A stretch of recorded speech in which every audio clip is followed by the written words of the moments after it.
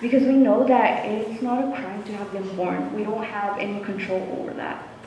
So just to kind of be aware of the word illegal. And so instead of that, just replace it with undocumented. Um, next, I put together a video.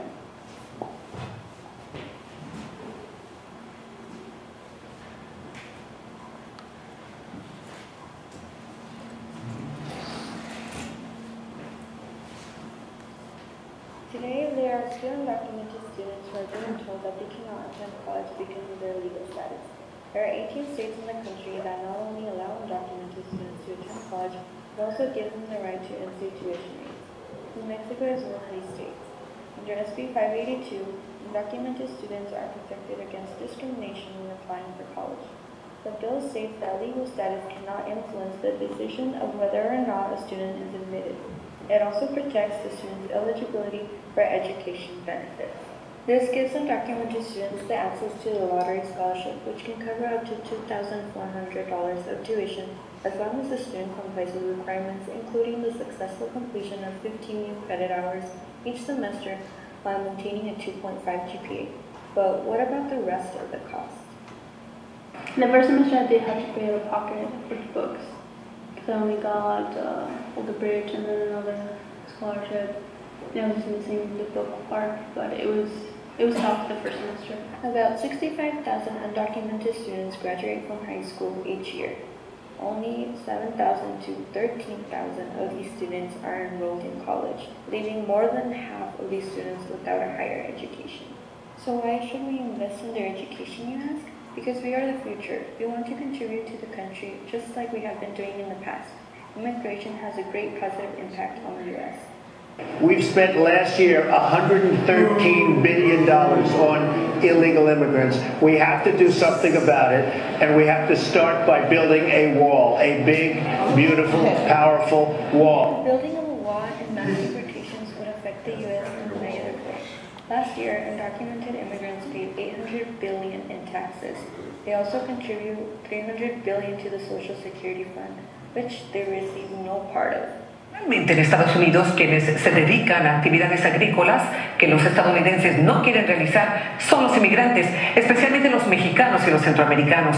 Undocumented immigrants make up to 53% of the agriculture workforce. Removing them would increase the price on produce or other products. For example, the cost of milk would increase by 61%. They're bringing drugs, they're bringing crime, they're rapists. Undocumented immigrants commit crimes at a lower rate than the citizen population of the United States. And in the United and the United States is unique in this experience. The idea that, that immigrants are committing crime at a lower rate than the native population is preposterous. Actually, only 5% of inmates in federal and state prisons are not U.S. citizens, leaving the remaining 95% to be legal residents or citizens. The percentage rate of incarceration for men born outside the U.S. is that of 1.6, which is less than that 3.3%. And when I think legal is something, uh, a thing, uh, an action or something, but defining a person as illegal is kind of not like making a person less. So it's, I don't really like. But the amount that illegal immigration is stigmatized, it is common to feel rejected by society. That is why when going through a big transition like it is entering college, students should find themselves in a welcoming environment. That's February UNM held a career fair. Students then realized that they allowed a fully uniformed officer from Border Patrol to come on campus. UNM later apologized for any discomfort the agent's presence caused to anyone. They stated that they completely understood how students felt about the situation. In order for an undocumented student to feel safe on campus, it is crucial to avoid these types of situations in the future. We deserve the right to an education just like anyone else. Do not be mistaken, this will only encourage us because we are undocumented, unafraid, and unapologetic.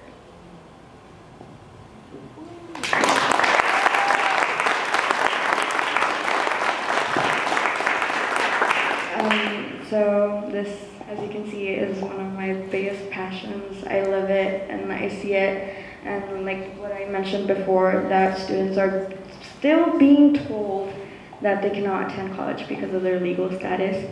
Um, there are only four states or three states that actually ban undocumented students from attending college, but other states are pretty lenient towards that. Um, but most of them, what they do is they offer in-state tuition, either that or they allow undocumented students to go into college, but they still have to pay out-of-state tuition instead of the in-state. So next steps, um, one of the things that I mentioned in the video was mandatory training for counselors and all staff. Um, I remember my mom, like, I'm the second one to go to college, and my sister, I'm the only one from my siblings that is undocumented. And so my sister was ready to go to college, and we thought, you know, we have this figured out, like, you know, it should be easier with me. And my mom realized it was completely different because I didn't have a social security number, especially when looking for scholarships. And it broke my heart a little bit to see that I pretty much met all requirements except for that one that said must be legal resident or U.S. citizen. Um, also, safe environment. Um, like I said, with the Border Patrol at UNM and them saying that they completely understand, but unless you're undocumented, you will never understand the fear of seeing a fully uniformed Border Patrol agent at your school with no advance notice. I mean, it would have been fine if, like, they sent out an email like, hey, like, we know we have undocumented students on campus. Just be aware that there's gonna be like an agent on campus, so just don't worry about it. And for them to actually, so the people that were protesting this, they actually got kicked out of the event, and because they thought it wasn't respectful or whatever. So, um, definitely to make sure that we all feel safe and we don't feel rejected. Um, also support the DREAM Act, which is very similar to like allowing in-state tuition. Also, um, a bunch of undocumented students have been trying to get this passed, which is the DREAM Act.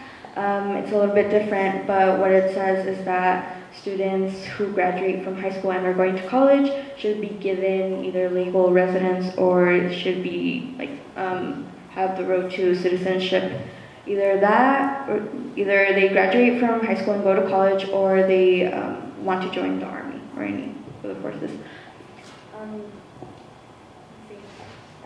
I think also, um, I think just the first point is very important um, because I didn't have like a lot of guidance with counselors um, and I also didn't actually feel comfortable enough to go to my counselor and tell her, you know what, I'm undocumented, I don't qualify for like half of these scholarships, I don't know what to do. And but luckily, I had someone there for me, and she was my, um, she was outside of school, but she was a college counselor, and she just sent me all these resources and told me like you can actually go to college. Um, but yeah, I mean that's pretty much it.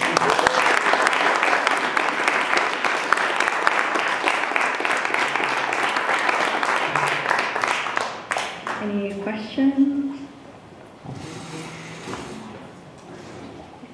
What resources did you find that helped you get into college?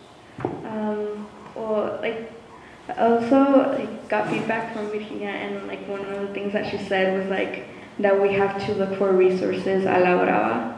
And so we just kind of like thrown out there, like, hey, like, let's see what you can find. But some of the resources I used was um, this counselor, she's part of the Simon Scholars Program. And um, she was able to help me out with that, and she sent me links to different scholarships that I could apply to. Um, also with Centro de la Raza was a huge help. Um, I applied to one of their scholarships, and I got it because like UNM only gave me a grant, so I was in need of financial assistance. Um, what else did I use? I think just pretty much Google. I mean, and one of the things that I found easier was to go on there and like type in like uh, scholarships for specific majors. I think that like really narrows it down. Um, there's also called it's called the Golden Doors Scholarship, and it's for specifically students who qualify for DACA. And so it pays for everything, including like tuition and fees, um, also for room and board, which is great. Um, and they also give you like opportunities for internships. So, yeah.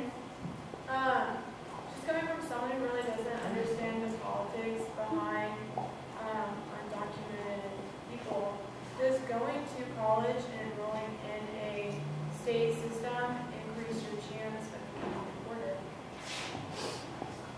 I mean, like, I think it just depends. I mean, like, sure, you can have an education and like still be deported.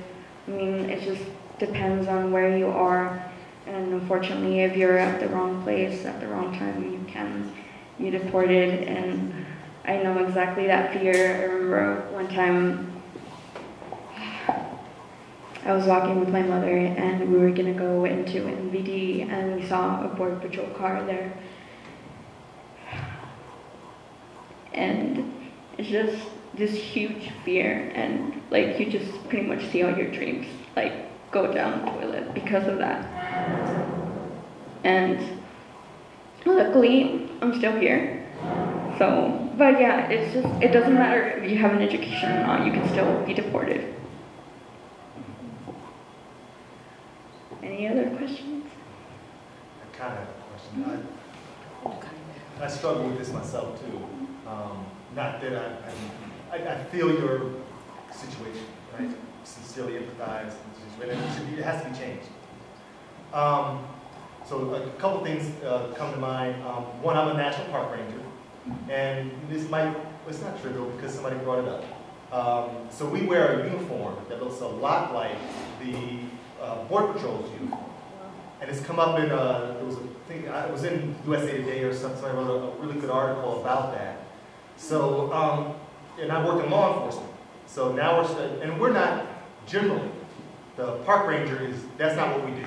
We don't, um, it, it depends on where you are. If you're in Organ Pipe along the, the border parks, then we do work closely with, with, with customs and ICE. Um, but that's not what, we're in the business of protecting the resource. So I guess my question comes to it, is that, is that accurate that when you see a park ranger, that, that that trigger of fear occurs and maybe more generally, what is, what can the, what can the park ranger do to, to help to alleviate that? I mean, we talked about changing the uniform, and that's come up, and there's a lot of pushback in the service. We are like, whoa, we came before the border patrol, it's them, they need to change their uniform. We've been around for hundred years. So is that accurate? The- the? Um, I haven't actually like been in that situation, but I mean, it's still like I guess so. I mean, there's still like a fear. I mean, we just see like a green uniform, we're like, you know, like get out of there. Um, but like I don't know, like one time like I was at a restaurant and was like I was freaking out because I thought there was like a border patrol agent. And I was just like, oh my gosh, like. But like I realized like oh it's not. But I don't know. It's just like yeah, probably like make some sort of like I don't know distinction. Our flat hat is different, and our badge, our badges are very different. We have this really pretty arrowhead, and generally, we smile. and, and we're in the national park. yeah, because like for us, it's just like it's just the color. Like that's all we see. Like we don't really like we don't have time to like put attention to like these little details, like you say, like the badge and you know all this, because like we just see green and like it's it's scary. It's Green's good. so, yeah.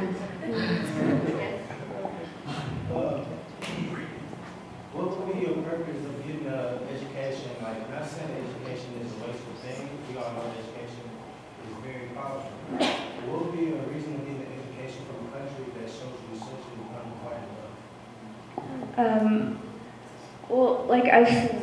I've grown up and like um, I don't exactly like have hate for this country, but you know, just like seeing all these things and being called illegal and you know, just like being yelled at, like go back to your country, even though like this was part of my country at one point.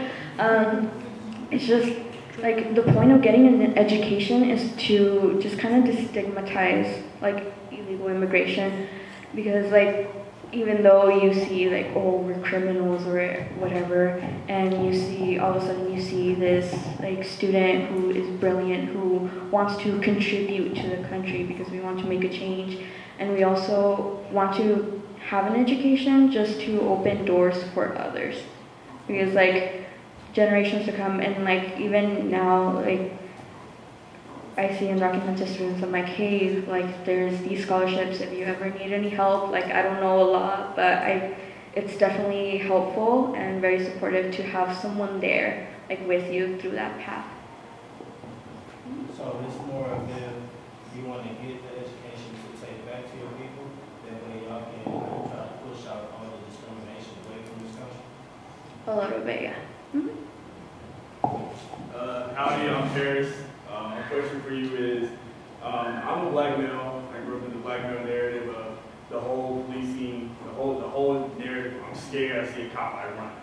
Um, and the whole negative connotation of being a black male, loud music, games, saggy pants, and things of that nature. And I know a lot of times, often in black communities, we reach out to the youth. Um, we do a lot of work with the youth because we know that the youth are the ones that are going to help drive our country in the right direction. So if we push